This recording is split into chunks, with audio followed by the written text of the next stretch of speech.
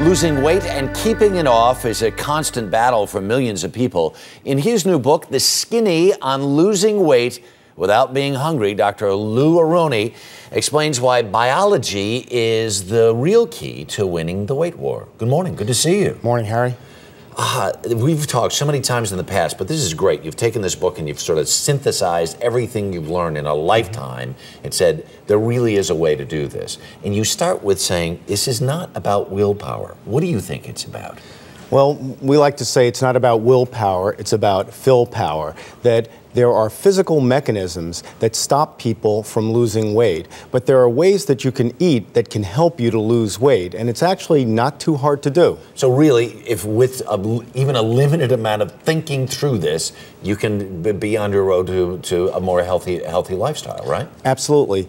Some of the latest research shows that fattening foods, these would be cookies, cakes, chips, things like that. When people eat them, they find that they just don't feel full. We call it fullness resistance. Mm -hmm.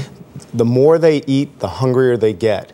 And there are simple ways that you can overcome this problem. You know, it's interesting because when I eat an apple in the afternoon, mm -hmm. I tend not to want a second apple. Right. Right. But if you open a bag of pretzels or something like that, you're going to have another and another and another. I think that really that sounds like it makes a lot of sense to me. Right. And what you may think is that it's just your behavior. But the fact is that what we're finding is that some foods just break down the fullness mechanisms.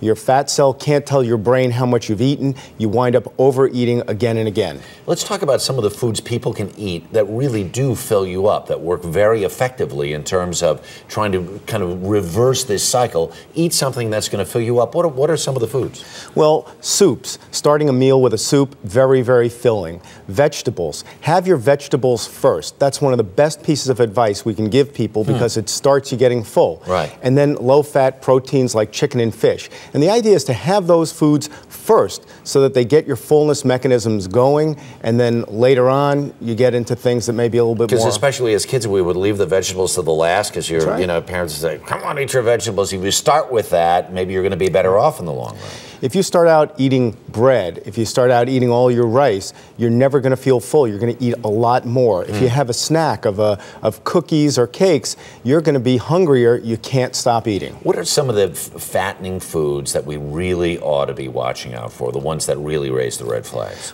Well, anything that would have a lot of calories in it, very calorie dense foods, as we call them, cookies, cakes, chips. I, I, think that those are the major offenders. Mm -hmm. But then if you get into fast food, it has a lot of calories in a very small compartment. You overeat it, mm -hmm. your body just doesn't feel full. Okay, last but not least, if there were one dietary change that you could pass along, a piece of advice to every single person who's watching out there, what would it be? It's that your breakfast has to be the right kind of breakfast. If you're having trouble losing weight, a protein breakfast, an egg white omelet, cottage cheese, yogurt, we find that that cuts appetite later in the day, sort of a natural appetite suppressant. It gets the metabolism mm -hmm. going, and it's the whole process is makes it going all day instead of that sort of fasting thing that really works ruin on your system, right? Right.